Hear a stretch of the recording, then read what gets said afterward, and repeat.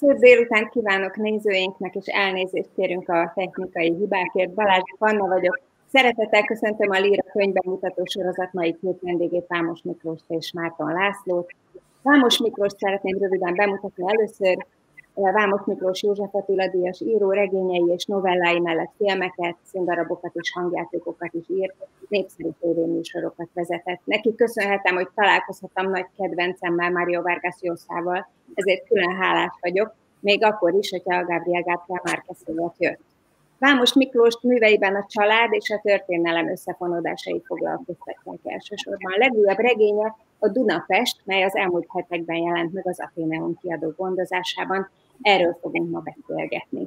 Miklós többször is nyilatkozta, hogy mai beszélgetőtársa Márton László József Attila Díjas író, drámaíró, műfordító, a legokosabb, legműveltebb író, és azért azzal szeretném kezdeni ezt a beszélgetést, hogy kettejük munkakapcsolatára vagy barátságára kérdezek rá.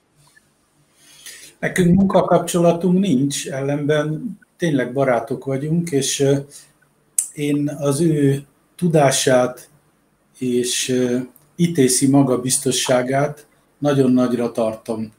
Van neki egy olyan képessége, hogyha az ember ír valamit, és olyan zavartam megkérdezni, hogy esetleg vetnél rá egy pillantást, akkor kérj, hogy küldjem el, és mint egy két napon belül elolvassa, akkor is, ha 800 oldal, akkor összegyűlünk egy kávéházban, és elmondja, hogy neki hogy tetszett. Én nagyon jól le tudom abból venni, hogy milyen a könyv, és szokott kritikai megjegyzéseket is tenni. Az a baj, hogy nem mindig fogadom meg. Például egyszer írtam egy Szita kötő című regényt, amelyeknek az utolsó fejezete 2026-ban játszódik. És azt mondta Laci, hogy azt, azt nem kéne. Mert ugye ment az, ezt, ez régen íródott, mentünk a jelenben, és egyszer csak előreugrottunk az akkor nagyon távolinak tetsző 2026-ban, de én nekem az kellett, mert én azt ez egy nemzedéki regény, ez a szita kötő, és azt szerettem volna, hogy kettő kivételével az összes főszereplő halljon meg, de még túl fiatalok voltak. Így oldottam meg. Na, most viszont mindig a bajokból jó lesz, mert 2026-ban kiadjuk újra. Na, ez jó ötlet. László, mit gondol a Dunapestről? Hát, ha egy írónak nagy életműve van, akkor annak vannak fontosabb és kevésbé fontos darabjai. A Dunapest az a, egyértelműen a legkiválóbb és legfontosabb műveik közé tartozik Vámos Miklósnak. Olyan kompozíciós erényei vannak, olyan életanyag van benne, a világról és Budapestről konkrétan olyan tudás, a szereplők mozgatása annyira sikerült, meg megjelenítése, hogy azt hiszem, hogy ez egy jelentős, fontos mű. Én ezt kétszer olvastam el rövid időn belül egymás után, és másodszor nem kevésbé élveztem, mint először. Mit részletekbe is. Mindenféle dolgok vannak, amelyeket érdemes mindjárt az elején említeni. Van egy Dunaparton álló épület, a Pozsonyi út 38, amely gyakorlatilag egybeépült a szomszéd épülettel a 40-nel, és az a kötet legfőbb szervező tényezője, ez az épület. Ezt nagyképű kifejezéssel úgy lehet nevezni, hogy kronotoposz. Mondjuk egy nagyon nagy kronotoposz az Velence. Shakespeare-től Thomas Mannig szervezi a különféle művek cselekményét. És egy kisebb kronotoposz az egy épület, és tökéletesen működik.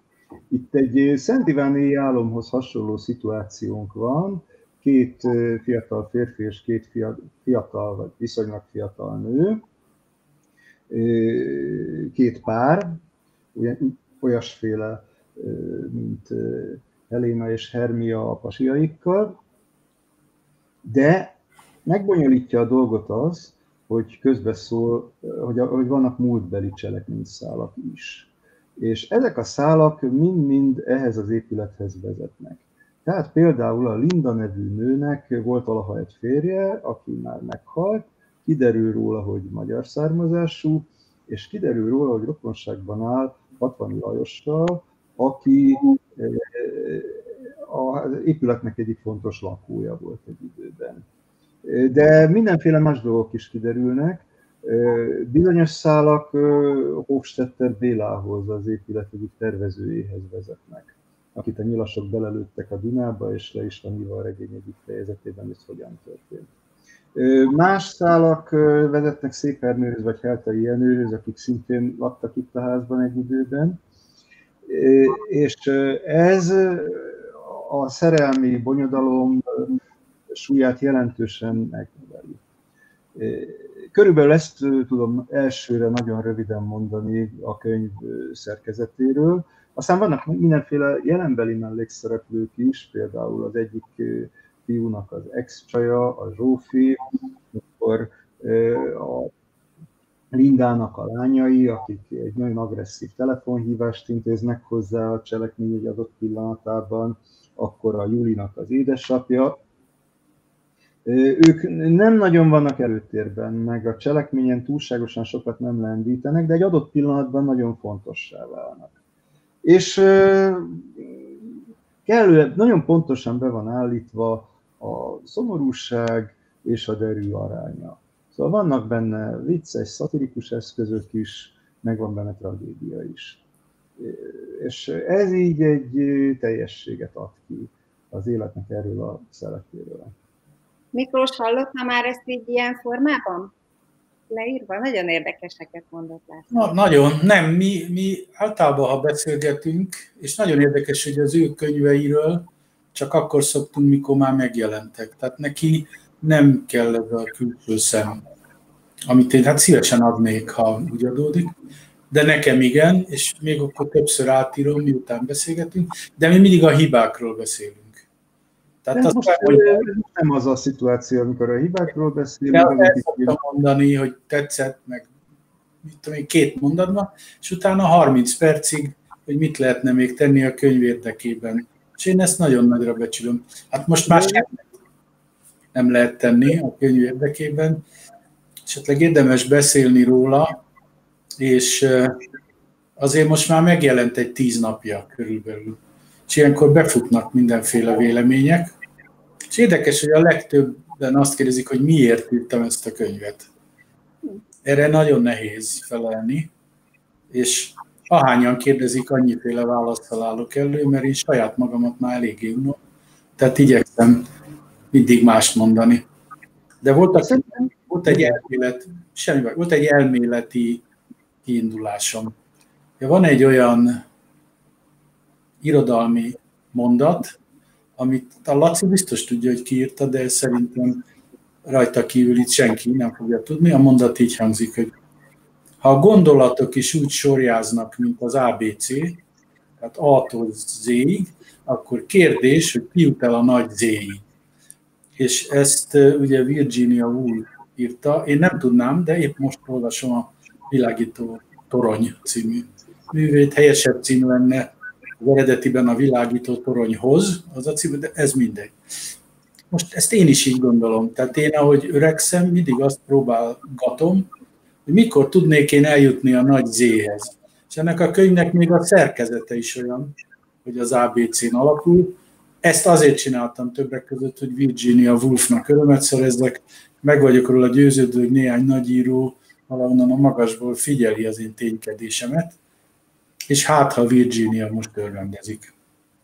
Hát, ha... Igen, uh-huh. a kompozíciónak fontos része az ABC, csak ugyan, és ez is egy szerencsés ötlet volt, hogy tudni illik az, hogy minden fejezet egy-egy betű bélyegét hordozza, kivéve azokat, amelyek négy betűt hordoznak egyszerre, és a mondatok mindig azzal a betűvel kezdődnek, ez megint csak egy fontos szervezőelem. És nem nehéz megcsinálni, tulajdonképpen egy pofon egyszerű ötlet, de senkinek nem szokott eszébe jutni, és ez is nem, nem érződik modorosságnak, tökéletesen működik. Nagyon jól viszi tovább a dolgot, és bizonyos fajta tagoltságok szerintem egy elbeszélői művet regényszerűbbé tudnak tenni, és például ez is egy jellegzetesen olyan dolog, amire tovább regényszerűsíti a történetet. Nem gondoltam arra, hogy te Virginia Woolfot tartottad szem előtt, ez nem jutott eszembe, de feltűnt nekem persze ez az ötlet. De ha már az ABC-nél tartunk, a, a könyv 293. oldalát ütöttem most fel, és hadd idézzek csak két sor. Az úton Dani egy idősebb íróról mesélt, aki futólag ismert Kádár Ákos révén, annak az írónak, aki a nyugdíj és a halál közt lehet, az első novellás kötetét Ákos megtalálta az antikváriumban, előszó az ABC-hez. Irigyli ezt a címet, szívesen írna egy könyvet, utószó az ABC-hez, mert úgy érzi, a fiction műfajának lassan búcsút inthet. Nekem, nekem ez volt szembetűnő a könyvből, hogy talán ezért is használta Miklós az ABC betűit a tartalomjegyzéknél is, tehát a, a fejezeteknél is, meg egyébként is így tipográfiailag. Nem, ez csak egy kis belső ilyen műhelyvicc, hogy a nagyon, akik nagyon szeretnek engem, és tényleg egymillió éve nyomon kísérik a működésemet, azok tudják, hogy az én első kötetem volt először az ABC-hez, kiadta a magvető, mely ebben a házban működik, ahol most ülök ma, és 18 forintért árulták a, a white-fülű olvasóknak. És valóban sokat latolgattam, hogy mi lenne, ha így a pálya végén írnék egy utószó az ABC-hez című könyvet. Volt olyan pillanat, hogy ennek a kötetnek azt a címet akartam adni, de volt olyan pillanat is, amikor azt a címet akartam adni, hogy órákig a Dunában.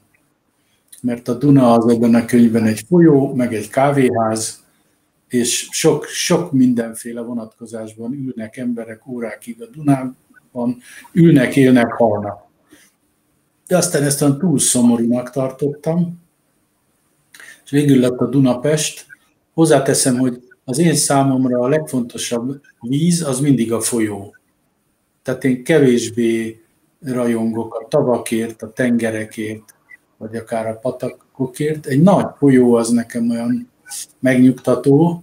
Szerencsére én nagyon hosszú ideje a Duna két oldalán élek. Tehát egyrészt a harmadik kerületben, másrészt a tizenharmadik kerületben, de mindig nagyon közel, tehát ilyen látótávolságra, és nem véletlen, hogy a rómaiak is mindig a széles folyamok mellett telepettek le, többek közt Akvinkumba, mert az olyan megnyugtató egy széles folyam. Egyrészt van mit inni, másrészt, ha jön az ellenség, át lehet övezni a túloldalra. Úgy nekem is van kajakom, most már nagyon ritkán használom, de át lehet evezni a Szentendrei sziget szegényét peremező plázsra, és azt szerintem az, az nagyon jó dolog egy folyó. Egy baj van, hogy ez a szegény Budapest nem jól használja a folyóját. Alig lehet oda lejutni, mert nem olyan a városszerkezet. Például a két rakpartot azonnal befedném, ilyen valami domború dologgal, amin füvet ültetnék, és végestelen végig kávéház, étterem, teniszpálya, és volt két uszoda a Dunán, megszületésem előtt, azt is visszaépítetném valahogy, sőt, legyen 4-5-6, mert a Duna ez ennek a folyónak a leges legnagyobb, ennek a városnak. A Duna nevű folyó a leges legnagyobb értéke, és még azt is hozzáteszem, hogy van egy olyan gondolat, hogy ott vagy otthon, ahol nem azt mondod, hogy lemegyek a folyóhoz, hanem megnevezed. Hát én ott vagyok otthon, ahol lemehetek a Dunához. A Dunapest kifejezést mégis ugye egy külföldi illető szájába adja, pedig biztos van olyan budapesti vagy, vagy magyar ember, aki játékosan így hívja a, a fővárost. Miért volt fontos, hogy legyen egy ilyen külföldi, vagy hogy mondjam, kívülről, a történetre egy kicsit kívülről rátekintő személy a legényben? Hát ugye, ha nagyon kéne választani, hogy ki a főszereplője ennek a regénynek, akkor az két külföldi, ahogy ön mondja. Az egyik svájci, és úgy hívták, hogy Karl Lutz. És egy nagyon derék diplomata volt, és mentette a magyar embereket számolatlanul, amiért később le is tolták Svájcban, mert túllépett a hatáskörén. A másik pedig Raúl Wallenberg, őt állítólag svédül úgy kell mondani, hogy Raúl Wallenberg, ezt most egyszer mondom, aztán maradjunk a magyaros változatnál, ők az igazi főszereplők. És én úgy érzem, hogy igazságot szolgáltatok nekik. Nem beszélünk eleget róluk, hiába van rakpart, meg Wallenberg emlékmű több is, kalandos történetekkel, ezek benne vannak a könyvben. De valahogy azt senki nem gondolja át, hogy ők mit tettek. És most egy kérdéssel fordulok mind a kettőtökhöz. Tételezzük föl, hogy 44 van. És tételezzük föl, hogy ugyanolyan üldözés van. Nem zsidó üldözés, emberüldözés. Hiszen a cigányokat, a kommunistákat, és nagyon sok mindenkit üldöztek. És nem csak a zsidókat ölték meg. Sok-sok más különböző nemzetiséget. Most tételezzük fel ezt a helyzetet, és akkor ha elolvassuk a zsidó törvényeket, ott az van, hogy aki zsidót bújtat, azt azonnal ki kell végezni. Most kérdezem én, hogy melyik őtök bújtatna engem. És hozzáfűzöm, hogy ott lég Géza például bújtatta Vas Istvánt. Mindenféle habozás nélkül. De én például a három gyerekemre gondolnék rögtön. És nem merem megmondani, hogy én mit csinálnék. És azt se kérem, hogy ti megmondjátok, hogy mit csinálnátok, csak gondolkozzatok el ezen most, itt, hogy mekkora hősiesség kellett ahhoz, hogy a Raúl Wallenberg például megállítson egy vonatot, és kiparancsoljon belőle zsidókat, miközben ott álltak a csendőrök, vagy nyilasok, vagy nácik, mindegy, fegyveres emberek, és mondták, ezt nem hagyja, abba lőjük ez egy nagy, magas ember, oda magas, és azt mondja, nem, nem, mert ezek, az, ezek, itt van ezek svédek és különböző papírokat. Vagy, be, vagy kimerné azt megtenni, mint Karl Lutz, hogy belőtek a Dunába egy nőt, és utána ugrott, és kimentette a diplomata. A sofőrje alig tudta az autóba betuszkolni, mert ez télen volt, erre ki lenne képes. És szerintem lehetetlenség, hogy erről mi nem beszélünk olyan sokat, és még egy olyan érzésem is van, hogy lehetséges, hogy azért valakinek bocsánatot kéne kérni azoktól az emberektől, akiket belőtek a Dunába. Most már. Ez is ez nem két-három ember. Na és akkor egyszer csak a Karl Lutz azt mondja a könyvemben, hogy hülyék ezek? Embereket lőnek a saját folyójukba? nem félnek tőle, hogy fertőzést kap a folyó. És ugye onnan veszik az ivóvizet. Normálisak ezek? És ebben a pillanatban mondja ő, hogy Dunapest is. És azon is meditáltam, hogy ez legyen a könyv címe, de azért nem akartam ezt, mert Krasznahorkai neves kollégának van a sátántangó, és hogy az én fejemben ez egy nagyon hasonló cím, úgyhogy így lett a Dunapest. A, a könyv hátoldalán szerepel ez a mondat, hogy a múlt nem tágít és jelenné válik, és a könyvben szerepel egy megdöbbentő jelenet, ahol a, a második generációs holokausztul élők traumáját írja le egy közös álomban. És ez is a Dunához, a belővéshez kapcsolódik.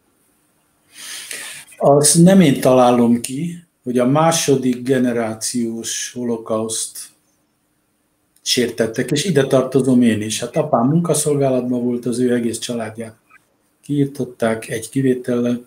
Tehát ez a nemzedék, amelyiknek a szülei és a nagyszülei holokauszt túlélők vagy áldozatok voltak, úgy érzi a holokausztot, mintha a génjeibe ez belekerült volna.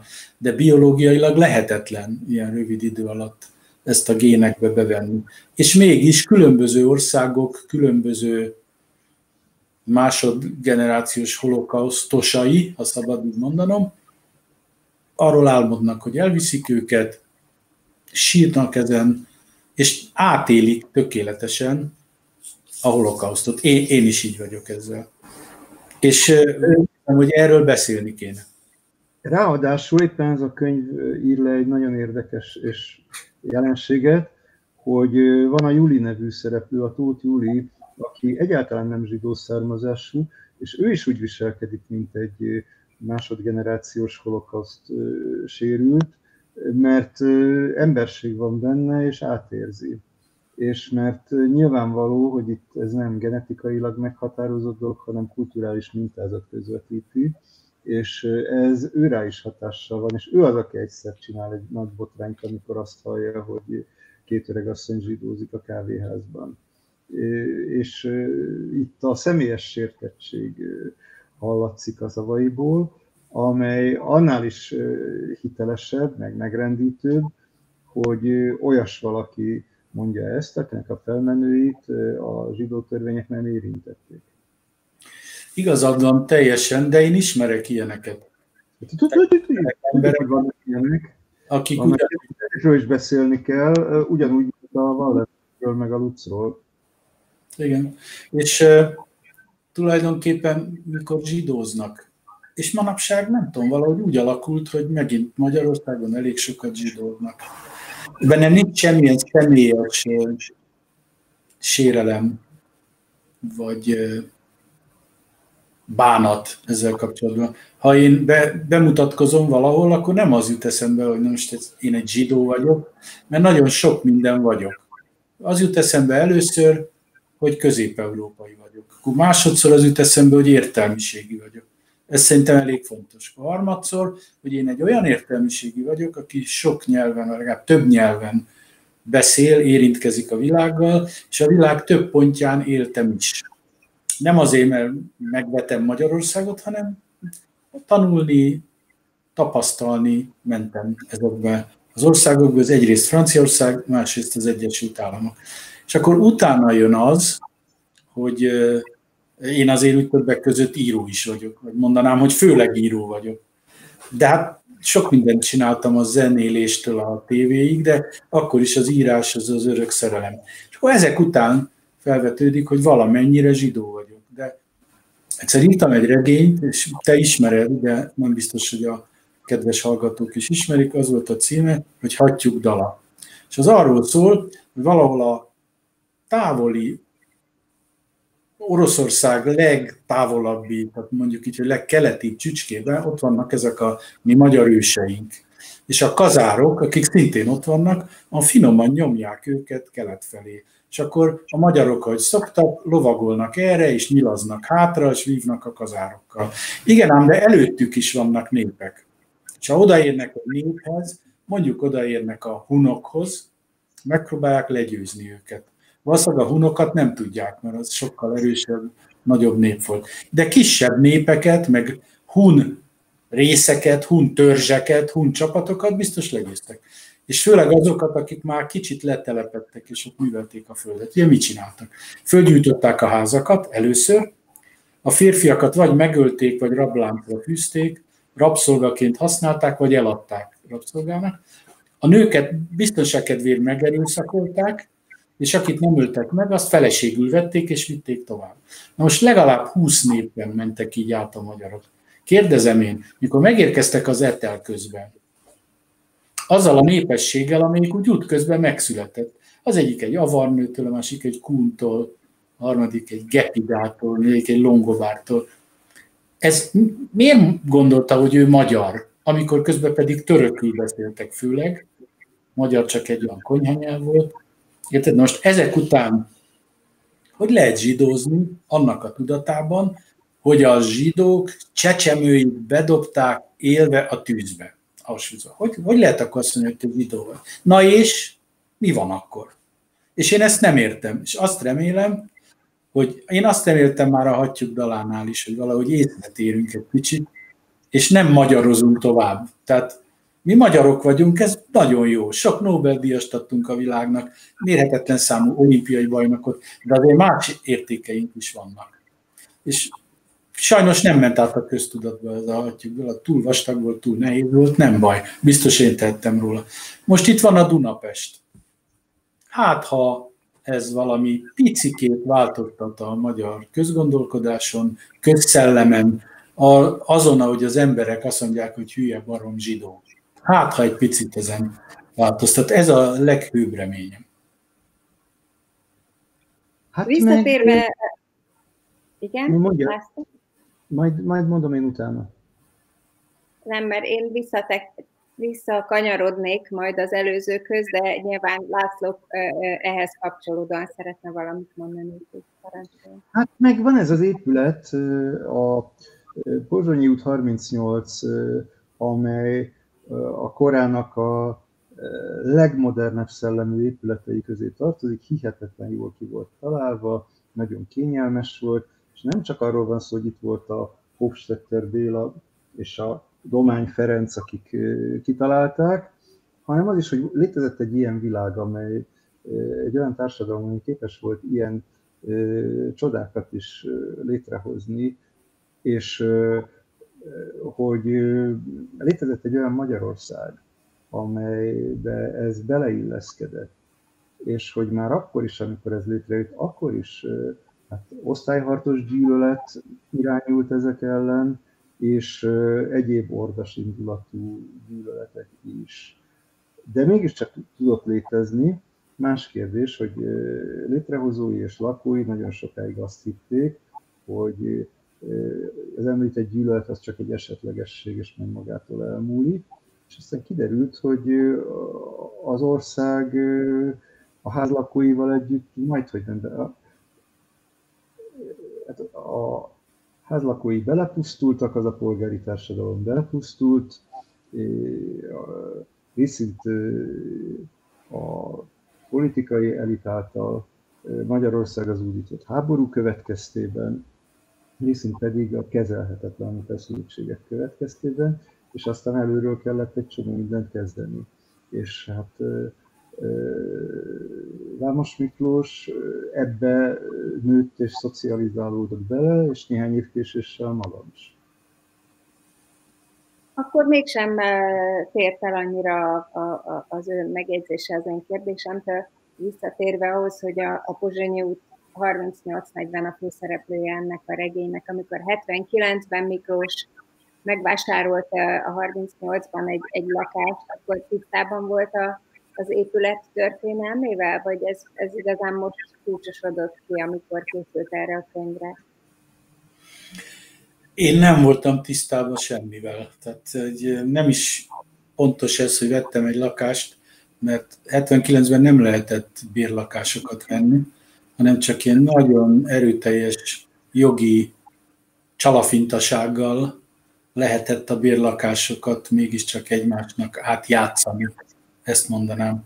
És ahogy először bementem, láttam, hogy az előcsarnok olyan, mintha egy színházba mennék. Hát egyrészt szokatlanul nagy, másrészt igazi márvány, és voltak ott ilyen fémbetűk a márványon, de már lehullottak. És ott azt tudtam elolvasni a, a betűk árnyékán. Sötétebb volt ott a márvány, hogy ezt a házat megrendelte a 60 cukorgyár nyugdíjpénztára, tehát nyilván befektetésnek vették, ugye befizetett pénzekből venni egy házat, kiadni a lakásokat, és így forgatni a tőkét, ez egy jó ötlet, és tervezte Hofstetter Béla és Domány Ferenc. És akkor hát ez olyan érdekes volt, de nem tudtam róla többet. Akkor egyszer csak egy Kádár András nevű barátom azt mondta, hogy mellesleg neki nagy vagy nagy-nagy bátyja volt Hofstetter Béla. Még egy fényképet is mutatott róla. Igen érdekes. És itt belőtték a Dunába, itt a háza közelébe. Na. Gondolkoztam, ú, ebből majd egyszer majd egyszer ebből úgy kéne valamit írni. De hát akkor ugye nagyon fiatal voltam ehhez, és nem, nem voltam kész erre a témára. És akkor mindig próbáltam olvasni erről a házról, egyre közelebb került a szívemhez, még akkor is, amikor már csak egy dolgozó lakásom maradt ott, mert elköltöztem a harmadik kerületbe, és nagyon tanulságosnak éreztem ezt. Úgy éreztem, hogy a, a magyarság 20. százada valamiképpen ebben az épületben megjeleníthető. És én ezt mindig tudtam, csak mindig más ötleteket vettem elő. Azt hiszem, erre én nem voltam még készen. És akkor lettem, vagy akkor szántam el magam, hogy na, most ezt nem lehet tovább halogatni, amikor furcsa dolgok derültek ki a házról, hogy mi történt ott az 50-es években, meg a 60-asokban. De ezt nem akarom elmondani, mert lelőném a poén, de minden esetre az, az egy nagyon erős indítatás volt, és akkor elkezdtem keresni hősöket. a, a négy jelenbeli hőst, azt kitaláltam. Tehát nem, nincs így. Viszont... Kádárnak hívják az egyiküket. Hát ez vicces, hogy ezt mondod, ugyanis az a Kádár, az említett Kádár Andrásnak a fia egyébként. És ha már itt tartunk, még azt is mondom, hogy most megjelent a könyv, és kaptam egy nagyon hosszú e-mailt egy embertől, akit ismerek. Őt úgy hívják, hogy Domány András, és a Magyar Rádióban volt ilyen gazdasági vagy közgazdasági riporter, vagy munkatárs, vagy nem is tudom. Őt onnan ismerem, hogy nagyon közeli ismerősömmel együtt járt a közgázra az időtájt, mikor én jártam a jogra. Akkor erre írt nekem egy levelet, hogy kedves Miklós, és ez a megjelenés után két nappal, tehát nagyon gyors.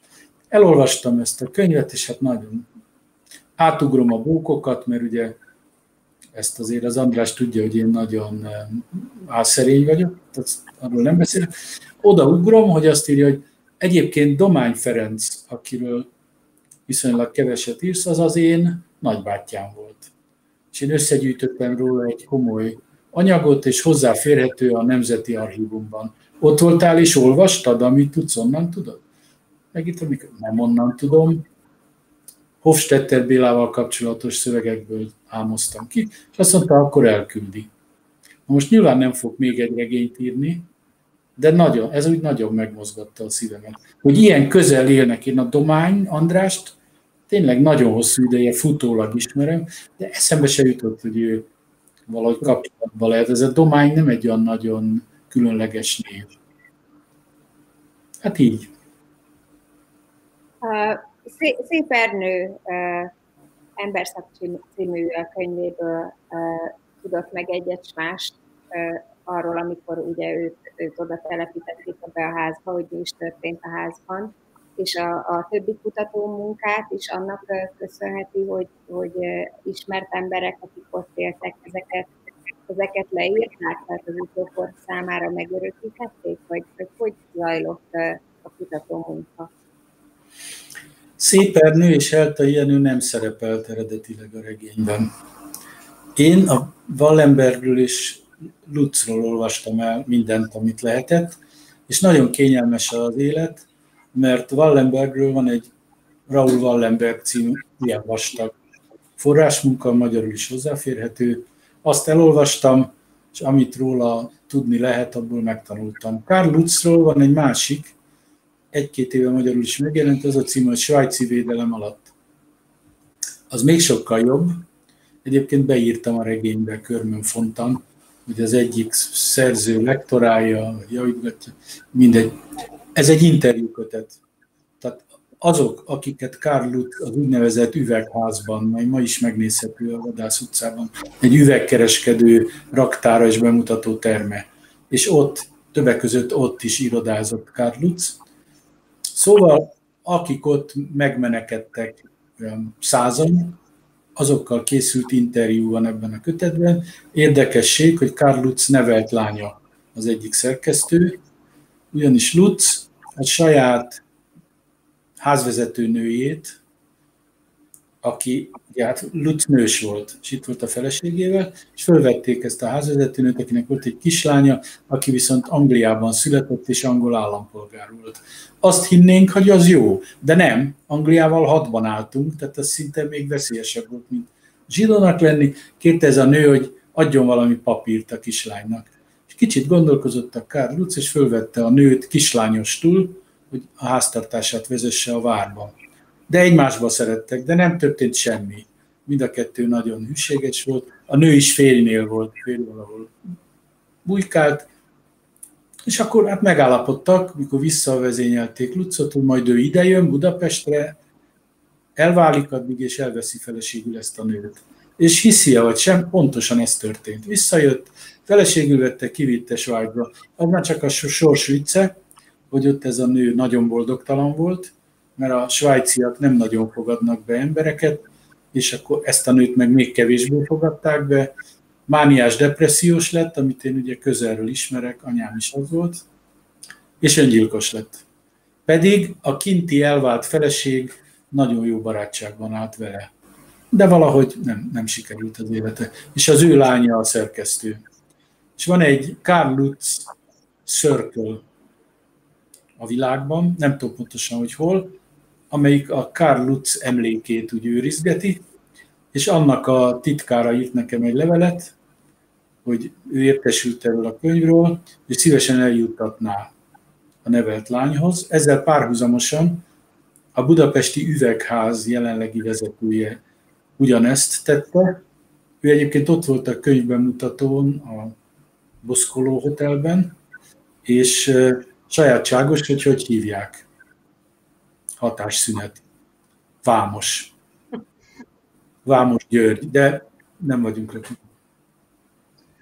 Hozzáteszem az érdekesség kedvéért, hogy irodalomtörténeti vonatkozásai is vannak Wallenberg és Lutz tevékenységének, hogy egy írót említsek, akit Wallenberg mentett meg, Sogyó György, aki a Rámpa című kötetében ír erről, Lutz pedig az akkor 14 éves Sándor Ivánt mentette meg, aki több könyvében is beszél erről, például a Tengeri Kavics című kötetében. Hogy irodal, az irodalomban is, és az irodalmi kánonban is élnek tovább. Hát remélem, hogy ezzel, hogy megírtam őket, most és ráadásul most ez a könyv. Még halhatatlanabbak. Ezzel szemben Raúl Wallenberg magánéletéről jóval kevesebbet tudunk, és itt Miklós vette az írói szabadságot, és, és elképzelte, hogy egy ilyen Schneidig jóképű, magas fiatal emberért biztos bomlanak a nők. Hát ez egy jogos gondolat, nem? Általában a nőknek az, aki magas, én nem vagyok magas, az tetszik. Nem tudom megmondani, hogy miért, akkor ha ők maguk picikék. Valamiért a magasság olyan biztonságot jelezhet, nem, nem tudom. És én úgy éreztem, hogy Wallenbergnek lehetetlen, hogy ne lettek volna Magyarországon valamiféle erotikus ügyei. Nem tudjuk egyébként, tehát az is lehet, hogy ő nem a nőket szerette, hanem a férfiakat, semmilyen jel nem mutat erre. De én úgy döntöttem, hogy sokkal jobb lesz az, hogyha ő heteroszexuális, és összehoztam a regény egyik szereplőjével. Ez tökéletesen légből kapott, tehát semmilyen bizonyíték nincs rá. De hát ez azért egy regény. Írónak szabad ezt-azt elképzelnie. Így történt. Hát a Karinti Ferencnek van egy novellája, amelyben a svéd követség vezetője jól azonosítható Wallenberggel, és ott egy Kamocsai nevű írótársa, fiatal írótársa, akit nem nehéz Devecseri Gáborral azonosítani, egy darabig latinórákat ad a svéd követnek, és hát ott kiderülnek bizonyos erotikus vonatkozások. De... Nagyszerű, de erről nem tudtam. Meg nem érdemes erről beszélni, mert az egy másik mű, ez, meg, ez a regény, és itt a Wallenberg figurája olyan, amilyen, és nagyon jól meg van írva. Na majd most elolvasom. A másik időségről, a jelenről egy kicsit kevesebbet beszéltünk, itt négy ember életét ismerjük meg, egy 40-es, két 30-as és egy 20-as éveiben lévő személy. Miklós, mekkora kihívás volt megjeleníteni három különböző generációt? Én úgy vagyok ezzel, hogy tudom, hogy minden írónak van írói gyerekkora. Az nem az igazi gyerekkora, hanem mondjuk a pályája első tíz éve. Ezt onnan lehet azonosítani, hogy a főhősök általában azonos életkorúak, azonos neműek, gyakran azonos foglalkozásúak. Tehát nagyon kicsi a távolság a szerző és a főhős között. És akkor az írói felnőtt kor az az, amikor ettől el tud rugaszkodni az ember. Tehát amikor például egy férfi író először ír egy nőről, tehát belebújik, vagy egy nő író egy férfiról. És van aztán az írói időskor, mondanám, hogy aranykor, amikor ott kell tartani, hogy bárkit meg kell tudnod írni. Tételezzük föl, hogy realista történetmesélő írókról beszélünk, olyanról, mint amilyen én vagyok, mert egy posztmodern szerzőnek ez nem feladata. Ő elég, ha a mondatokkal, jelzőkkel, furcsa kifejezésekkel dolgozik. De a realista írónál ez egy feladat. És én úgy érzem, hogy készen állok arra, és már be is bizonyítottam. Tehát vannak könyveim, ahol nő a főszereplő, fiatal, öreg, kutya, még olyat nem írtam, de szerintem meg kéne tudnom írni egy koronavírus regényes életét. ha úgy adódik, vagy ásványokat, növényeket, fákat. Ez szerintem írói alapképesség, amihez el kell jutni, hát úgy 40-50 táján. Ez, ez, ez nagyon fontos. És nem csak az a fontos, hogy élőlényeket meg tudjon írni az ember, hanem helyszíneket, időjárási helyzeteket. Ugye jól tudjuk a nagy realista íróktól, hogy minden időjárási jelenség egy lelki állapot. Tehát ha egy író elkezd arról beszélni, hogy fújt a szél, akkor valamilyen hős lelki állapotáról beszél, vagy ha arról ír, hogy milyen zimankós a tél, akkor is. Tehát az időjárásról való leírások, de ugyanígy a helyszíneken való időzés, az mindig lelki leírás, tehát valami, valami embernek a lelkében vannak ezek a tájak, az időjárások. Az is, ahogy az idő folyik, és az is, ahogy a tér változik. Azért az nem mindegy, hogy valaki Budapesten egy közepes kerületben üldögél, és onnan beszél, mint én most, vagy ugyanez a valaki Kaliforniában a tengerparton ül egy ugyanilyen számítógép előtt. Az nem mindegy. Nem azért, mert az a gazdagabb, aki Kaliforniában ül, hanem ő rá az a időjárás és táj hat. És nekem nem mondja senki, hogy ha valaki a, a Dob utcába kinéz egy ablakon és lát valamit, akkor ugyanolyan lelki állapotban lesz, mint hogyha mondjuk Párizsban egy olyan lakásban ül, ahonnan a Champs-Élysére lát az egészen más. És ezt nagyon tudatosan próbálom, kb. 30 éves korom óta így csinálni. Tehát a tájak és a, a, a fejlemények az időjárásban, évszakok, napok, az sem mindegy, hogy hány órakor mondunk valamit. Tehát este 6 órakor tartani egy rövid speechet arról, hogy éhesek vagyunk, az nagyon más, mint délután fél kettőkor egy jó étteremben. Hmm. Mert ez ilyen. Hát szerintem egy író számára, főleg, hogyha nem hal meg fiatalon, az az igazi kihívás, hogy nála egy vagy több nemzedékkel fiatalabbakat bemutasson hősökként. Ez akkor döbbentem rá, amikor Mándi Iván Kamasz hőseiről olvastam, és hogy Mándi, akinek nem volt gyereke, olyan idős szereplőket vonultatott fel a Mi van Verával című ciklusban, akik a gyerekei lehettek volna. És hogy milyen sokat tudott ezekről a szereplőkről. És az, hogyha egy író fiatalabbakat mozgat a térben, és ráír ezzel a hangulatukra, az atmoszférájukra, ismeri a szokásukat, ismeri a beszédmódjukat, a kötet nyelvezetéről, különösen a dialógusok nyelvéről eddig még nem esett szó, holott külön elemzés tárgya lehetne, hogy a Vámos Miklós hogyan kever ki szlengből, meg, meg hát általa felcsípett egyedi fordulatokból egy hát semmivel össze nem téveszthető beszédmódot, és ezt hogyan váltogatja a narrátori semlegesebb szólammal, meg a mondjuk két háború közötti, vagy második világháborús dumával, ami szintén beszüremkedik. Továbbá az idegen nyelvű szereplők, a Linda nevű nő, meg a svájci és a svéd diplomata nyelvi melléfogásaival, tévesztéseivel, amelyeknek szintén jelentős poétikai funkciójuk van. És az, hogy visszatekint mondjuk 70-80 évvel korábbi dolgokra, és közben meg nála 40-50 évvel fiatalabbakat mozgat jelen időben, ez egy külön feszültséget ad, belső energiát a szövegnek. De ehhez csak figyelni kell, tehát azért az hozzátartozik, hogy a dialógusokat gyűjtöm. Ne, ha nem írok, akkor is, tehát ha valaki mond valami érdekeset, akkor fölírom, mögé írom, hogy ki mondta és hány éves és akkor gátlástalanul használom ott, ahol éppen kell, és nagyon sokszor föl se írom. Tehát jó, jó mondat, az úgy a fejembe ott ragad, mint hogy ebben a könyvben is van egy ilyen, hogy egy nagyon kedves ismerőcsöm egyszer, amikor valamiféle fájdalom érte, akkor azt mondta, egek.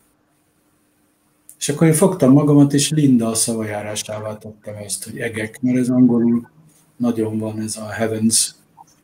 Mm. Tehát egy gyűjtöm, de ez így volt már, mit, talán ez viccesen, de már az óvodában az ilyen furcsa fordulatokat, ha nem is írtam föl, de megjegyeztem.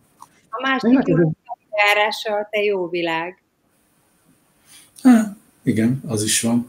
Az egy másik embertől van.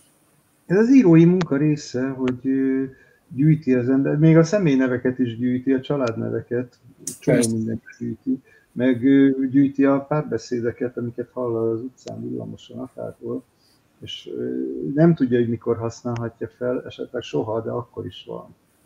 És akkor ez egy, egy nagyon érdekes játék, hogy még egy sort nem írtam, csak már tudtam, hogy lesz egy ilyen könyv, még azt hittem, hogy Urákig a Dunában lesz a címe, és akkor úgy üldögéltem, és akkor na jó, tehát akkor legyen egy nő. Milyen nő?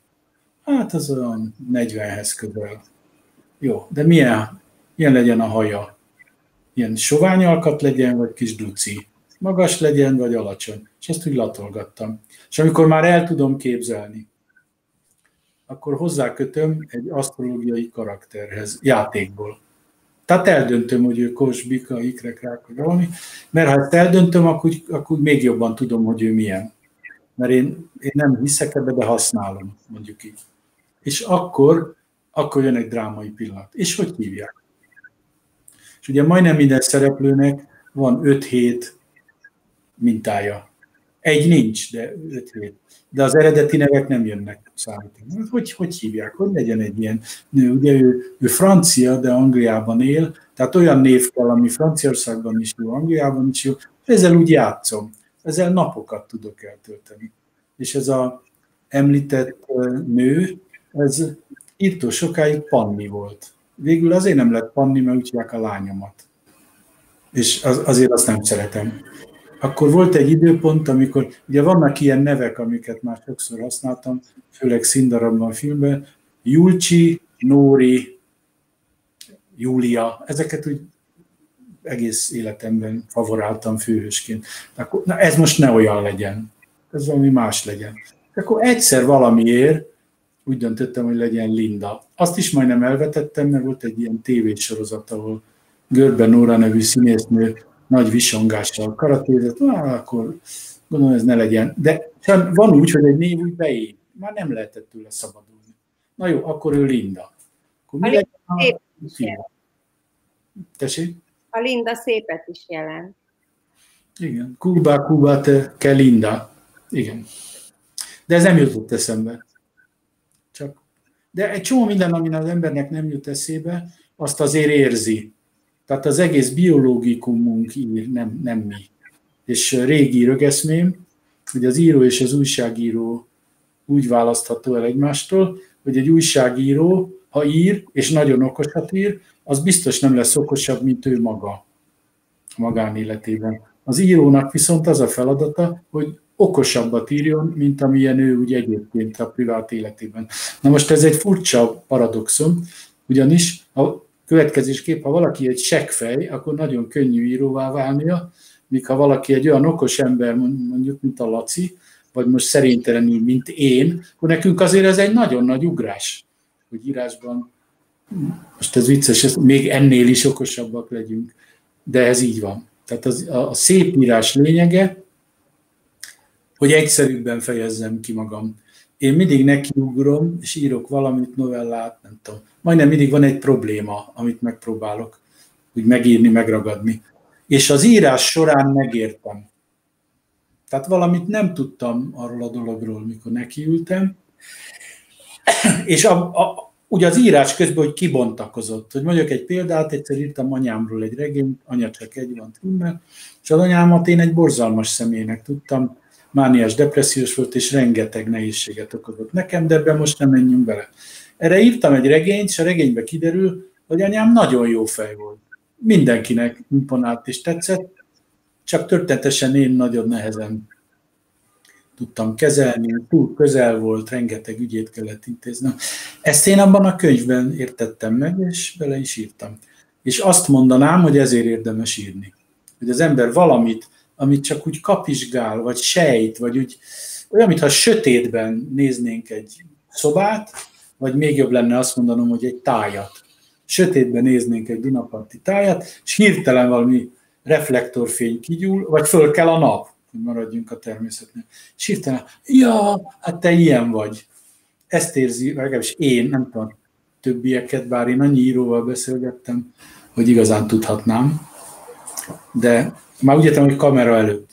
De ilyen, ilyen érzés a realista prózaírás, hogy hirtelen megvilágosodik a táj, az ember és a dolgok. Visszatérve László egy korábbi uh, szóhasználatához, hogy, hogy a, a, a narrátor semlegessége uh, a könyvvel kapcsolatban a vége felé mégis nagyon személyesbe fordul, és ezt Miklós uh, nem bízta mondjuk a, a, az újságírók cikkeire, hogy majd megírják a személyes vonatkozásokat, hanem egyenesen beleírta a könyvbe. Miért döntött úgy, hogy, hogy kilépve egy kicsit a történetből, de mégis kapcsolódva hozzá a, a saját személyes érintettségét beleírja? Én nem hiszem, hogy ez kilépés a történetből, itt csupán arról van szó, hogy ez egy irodalmi kísérlet, hogy mi van akkor, hogyha a fikció, vagy amit ugye mi szép irodalomnak hívunk, és a non-fiction, ahogy az angol szászok mondják, tehát a tényirodalom, mi van, ha ezek így össze vannak tolva? Hiszen a Wallenbergről szóló jelenetek, meg a Karl Lutzról szóló jelenetek jelentős része tény. Igaz? Nem én találtam ki, én csak úgy egy kicsit úgy körülölelgettem a fantáziámmal. És ugyanígy eh, szóba került Szépernő és Helta Ijenő.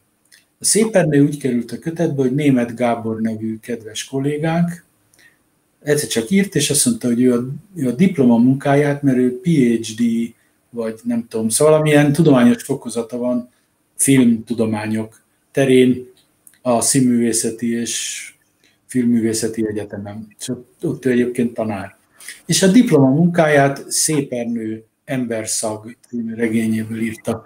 Én az Emberszagot olvastam olyan 20-as éveimben, de nem tűnt föl nekem, hogy ezt a házat említi, hogy oda zsuppolták be testvérevel együtt, hiszen semmi közöm se volt még a házhoz. És akkor erre felhívta a figyelmet, erre elolvastam, és úgy éreztem, hogy egy amúgy is létező figurából csináljunk szép ernőt. A Helta Jenő pedig úgy került bele, hogy van egy életrajza, kiadta a magvető, azt hiszem az a cím, hogy négy fal között, és ugyanerről az időszakról.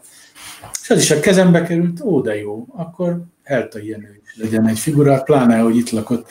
Az igazság az, hogy Heltai a háború után lakott ott, de az nekem mindegy volt. A regénybe se lakik ott, csak egyszer elmegy a Dunapark kávéházba.